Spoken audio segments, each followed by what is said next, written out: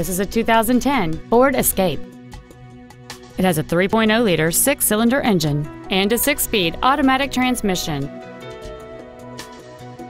Its top features include a navigation system, a sunroof, heated seats, aluminum wheels, and traction control and stability control systems.